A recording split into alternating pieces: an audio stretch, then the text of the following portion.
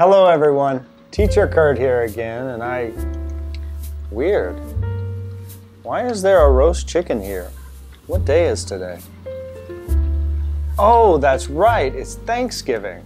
But we normally have turkey for Thanksgiving Day.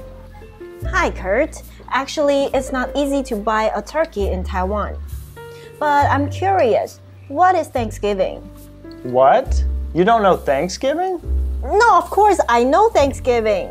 I mean, what's the meaning of Thanksgiving? Well, Thanksgiving is composed of two words thanks and giving. And the holiday is about giving thanks for all that we have. How did Thanksgiving get started?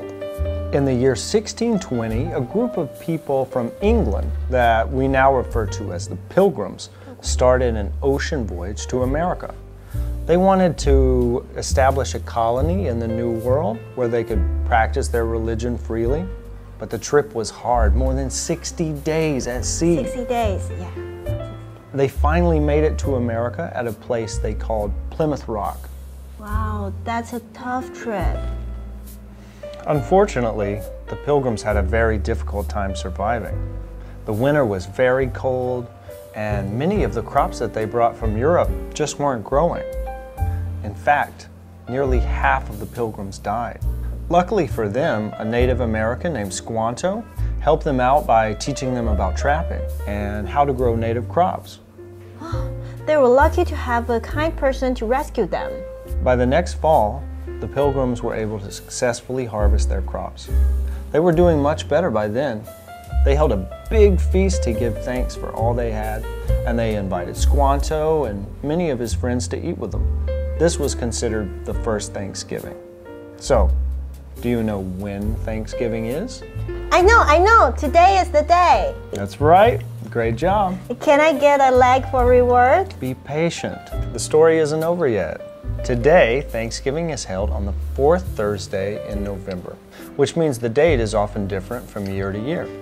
And just like the Pilgrims did at Plymouth Rock, Americans spend the day celebrating with friends and family and giving thanks for what they have. So, what do we do on Thanksgiving? Unlike Christmas, Thanksgiving isn't a gift giving holiday. People don't dress up for Thanksgiving like they do for Halloween. So, aside from getting together with friends and family, what do people do on Thanksgiving? They eat. Woohoo! Eat! Wait, Kurt, I think I heard Vivi calling you. really?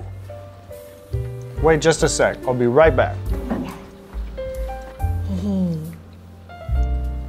Now nobody can stop me.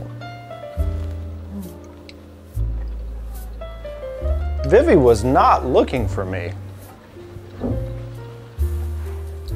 Anyway, Thanksgiving is known as a feasting holiday, and turkey is the most important dish at any Thanksgiving meal.